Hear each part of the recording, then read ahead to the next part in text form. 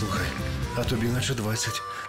Правонор Форте нормалізує сечовипускання, оздоровлює простату, підсилює лібідо і потенцію. Чоловіки оцінять, жінки запам'ятають. 85-річна Марія Іваньо з закарпатського міста Чоп сплела для українських військових 900 пар шкарпеток. Вона колишня учителька української мови. Спочатку плела шапки для учасників майдану, а від 2014-го зігріває ноги захисникам по всій лінії фронту, бо хоче бути корисною. Пряжу волонтерці приносять містяни та жителі сусідніх сіл. Розпускати на нитки плетений одяг допомагають сусідки. У кожну пару шкарпеток жінка кладе ще й цукерку та дитячий малюнок, щоб обігріти не лише серця, також і серця наших незламних героїв. 900 пар шкарпеток за 9 років війни сплела для наших захисників Марія Іваньо із закарпатського міста Чоп.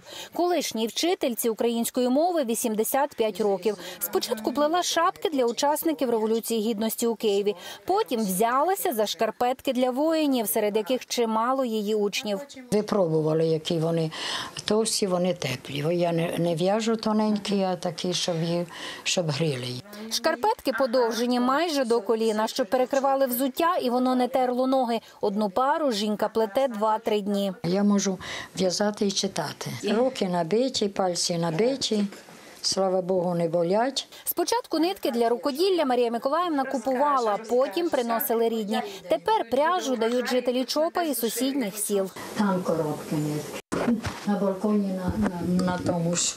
Все, все, все в нитках. Розпускати на нитки плетений одяг волонтерці допомагають сусідки. Найкращі вовняна пряжа. Такі шкарпетки позитивно впливають на організм і допомагають військовим не захворіти. Целый год уже помогаю, время есть, пенсионерка так. З удовольствием поможу. Ми українці, ми, ми така нація.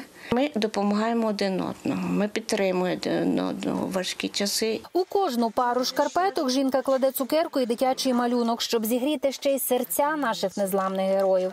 На фронт подарунки відправляють разом з іншими необхідними речами. Воїни радіють. дзвонять і дякують.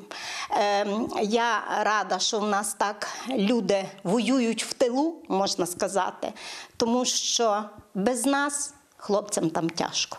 Для закарпатських бабусь це свій фронт і внесок у перемогу над окупантами. Вони запевняють, дружно працюватимуть, доки вистачить сил і здоров'я.